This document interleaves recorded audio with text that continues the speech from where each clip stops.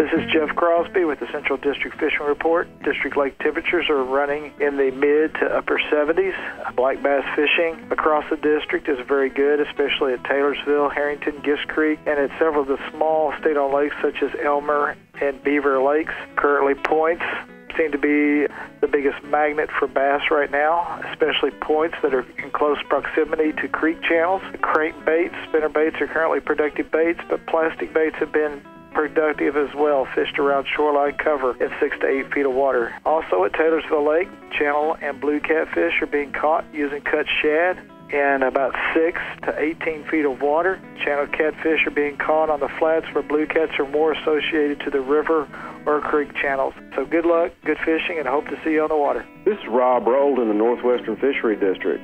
At Nolin Lake, Anglers have been catching a lot of hand-sized bluegill by fishing the upper ends of some of the coves, especially those with gravel or sandy bottoms, and uh, look for overhanging trees there as well as the bluegill make their beds below them. At Rough River Lake, anglers are starting to pick up some hybrid striped bass by trolling, and they're trolling the areas of the upper South Fork around uh, Panther Creek uh, on down to Mid Lake.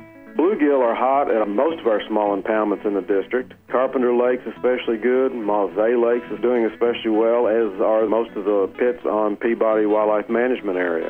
And look for overhanging branches and vegetation, as both species like to build their nests in these secluded spots. That's an update from the Northwestern Fishery District. Please remember, be safe on the water and wear your life jacket in western Kentucky, down at Kentucky and Barkley Lakes, it's still good fishing. They're catching bass out on the ledges using crankbaits and plastic worms. Still catching some bass up shallow around woody habitat, woody structure around boat docks with spinner baits and again plastic worms and lizards. Bluegill fishing is really hot right now. Hopefully, we'll see some willow fly hatches coming up here pretty soon.